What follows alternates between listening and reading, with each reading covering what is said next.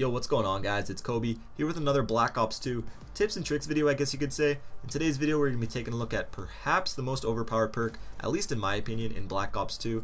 And it may not be the perk that first comes to mind, but when you really think about it and see how effective it is, overpowered really isn't a far stretch. Now the perk I'm talking about is Flak Jacket, and again this kind of perk isn't typically the kind of perk you would complain about being overpowered. A perk like Ghost from Black Ops 1 was clearly overpowered, you know, but this one maybe not so much but I'm going to try to explain exactly what it does, what it counters, how effective it is in different situations, and you can decide whether or not it may be overpowered. So starting off, the Flak Jacket perk is programmed to reduce damage from explosives by 33%.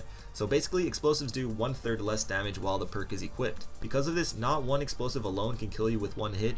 You will survive the explosion of an enemy frag, a Semtex, Bouncing Betty, C4, Claymore, and even all the launchers, including the grenade launchers, 100% of the time. You can literally be standing on top of a C4 or Betty, you know, laying on it, it doesn't matter, you will survive.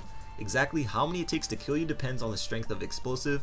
For instance, a C4 Betty is stronger than a grenade, so you know where it takes 3 frags to kill you, it'll only take around 2 C4s. However, if you do get direct impacted by a frag, a C4, bouncing Betty, or if you get stuck by a Semtex or crossbow, or even if a launcher's rocket hits your body dead on, that will deal extra damage for you to get killed by it.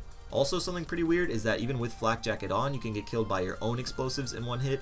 I'm guessing they did that so you can do Misery Loves Company with it, which is where you hold a grenade and you just kill someone while holding onto it, but regardless, it's just something to keep in mind.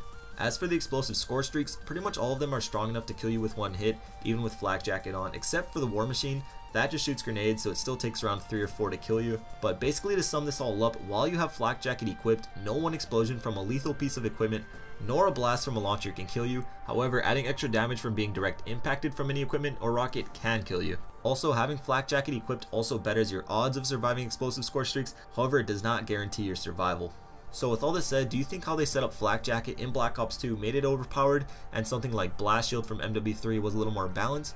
Or do you think Flak Jacket is balanced and it has to be this effective to contend with perks in the perk 1 slot like Ghost?